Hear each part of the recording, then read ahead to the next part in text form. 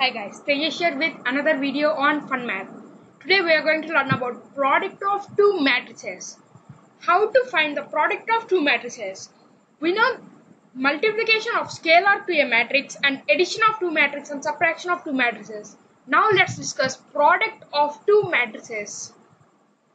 Okay, first the condition for the possibility of the product means there is a condition the product of two matrices is only possible if that condition or if that condition is satisfied.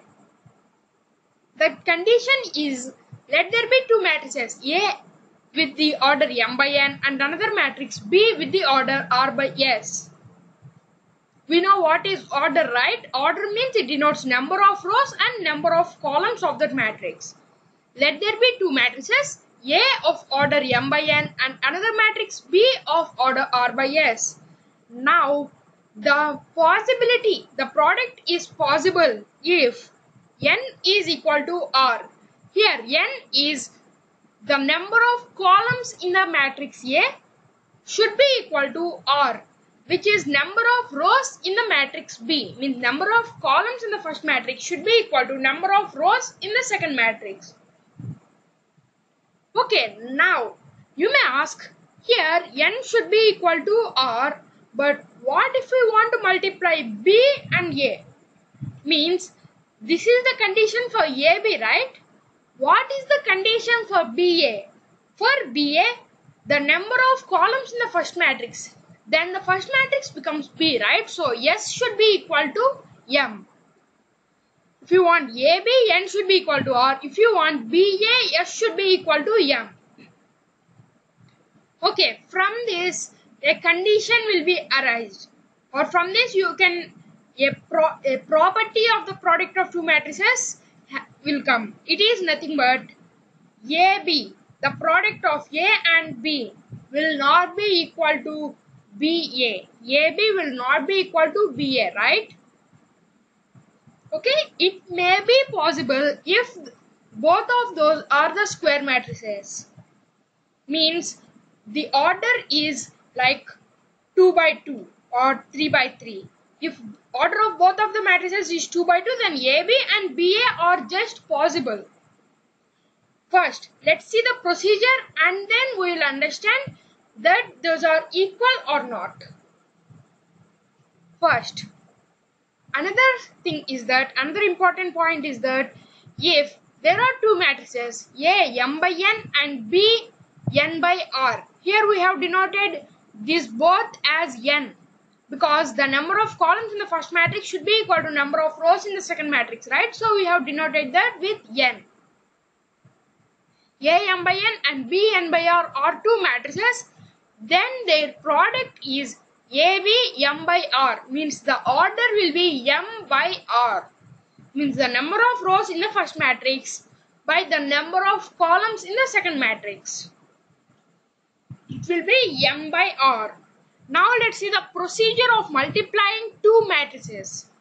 If A m by n and B n by r are two matrices then AB ij here ij denotes here ABIJ means the element in the ith row and jth column of the matrix AB of our required matrix.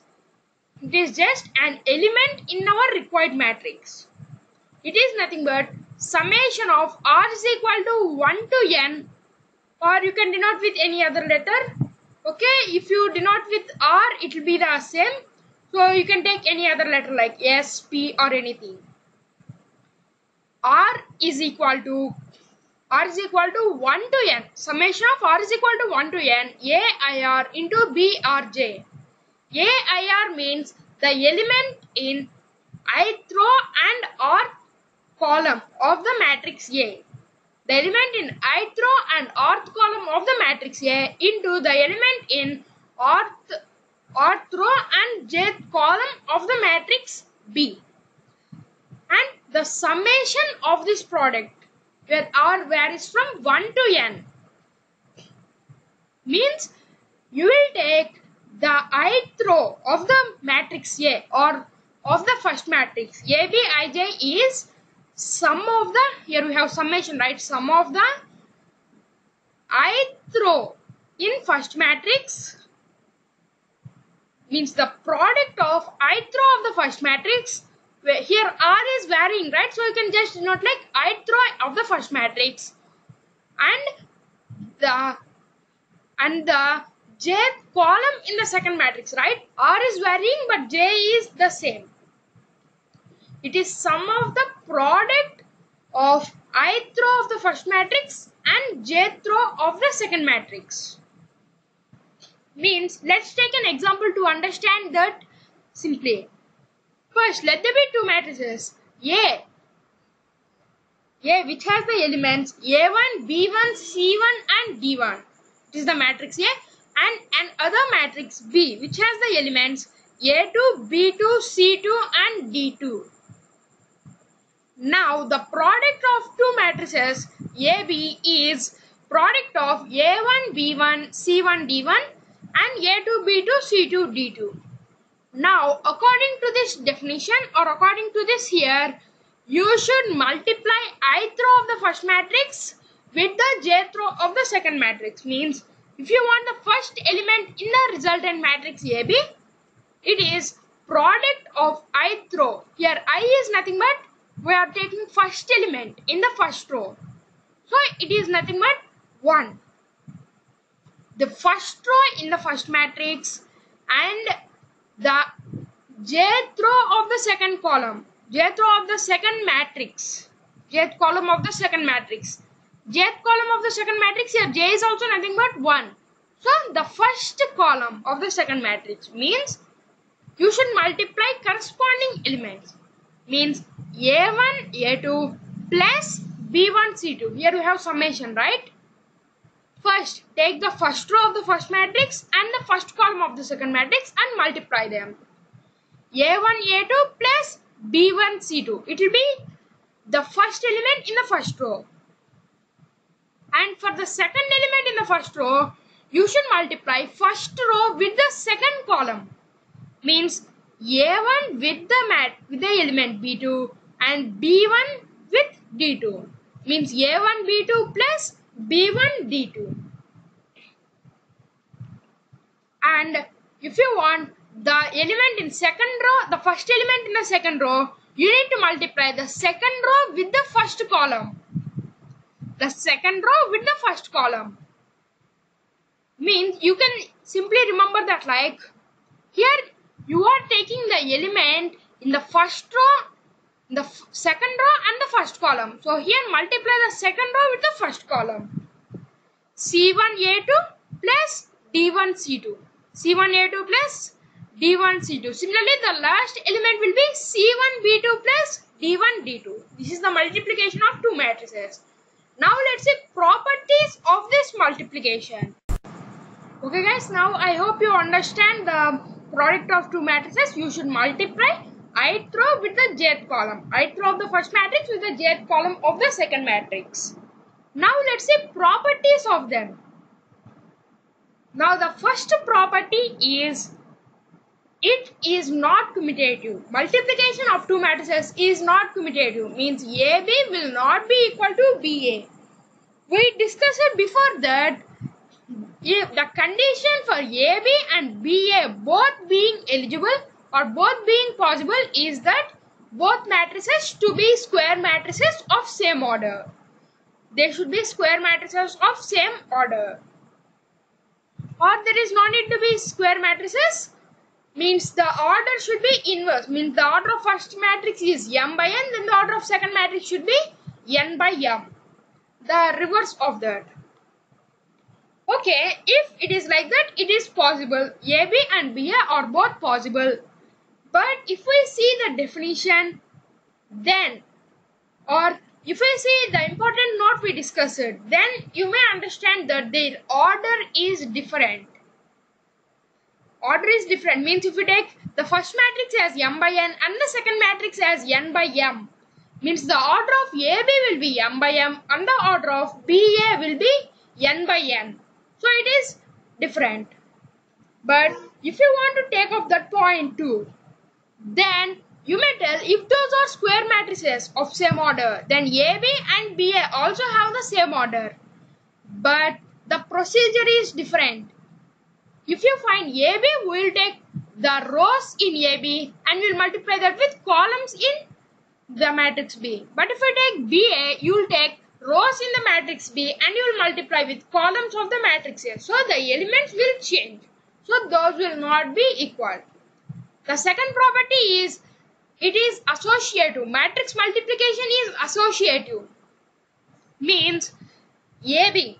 AB means the product of A and B and you need to multiply that with C. AB into C will be equal to A into BC. AB into C will be equal to A into BC. The third property is that matrix multiplication is distributive over addition of matrices. Means if we take A plus B into C means the sum of the two matrices A and B multiplied with another matrix C. A plus B into C. You can write that like AC plus BC. Means A plus B into C is nothing but A into C plus B into C and a into b plus c is nothing but a into b plus a into c. Okay, you may ask, here we have shown a plus b into c is nothing but ac plus bc, right?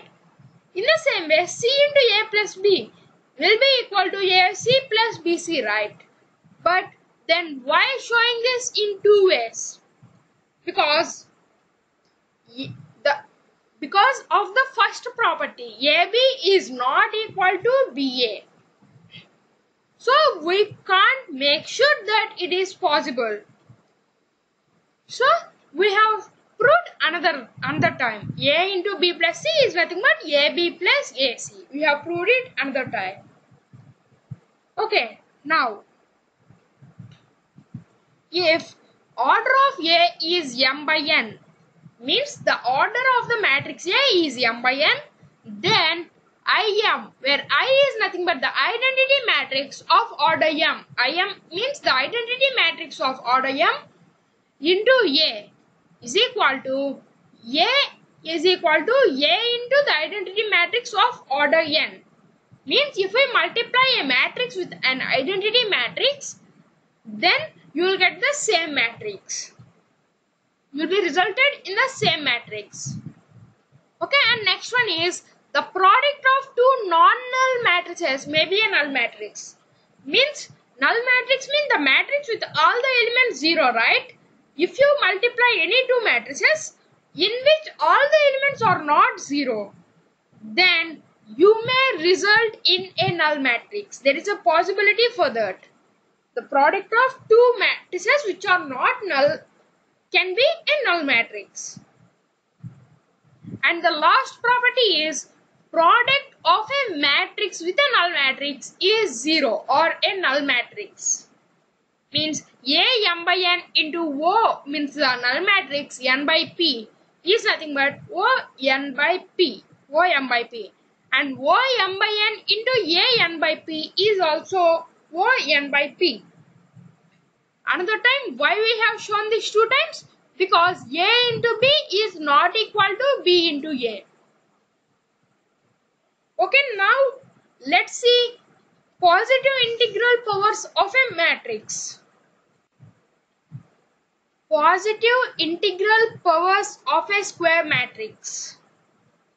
What are the positive integral powers of a square matrix? Let A be a square matrix then a to the power of 1. a to the power of 1 is nothing but a. If you raise a matrix to the power of 1, then you will you'll be resulted in the same matrix. And if we raise a matrix to the power of n plus 1, means any natural number n plus 1, then you will be resulted in a to the power of n times a. Means this is the same property in exponents. And a to the power of m into a to the power of n is nothing but a to the power of m plus n. And a to the power of m raised to the power of n is a to the power of mn. These are all the same properties of the normal exponents. And now let's see matrix polynomial. What is a matrix polynomial? A polynomial with matrices in place of x is called a matrix polynomial. Means let there be a polynomial a0x to the power of n plus a1 x to the power of n minus 1 plus a2 x to the power of n minus 2 plus and so on until an minus 1 x plus an. Let it be a polynomial in x. Then a matrix polynomial is f of a is equal to a0 a to the power of n means the matrix a to the power of n plus a1 a to the power of n minus 1 plus a2 a to the power of n minus 2 plus and so on until a n minus 1 a plus. And the last term will be a n into i n. Here we don't have anything.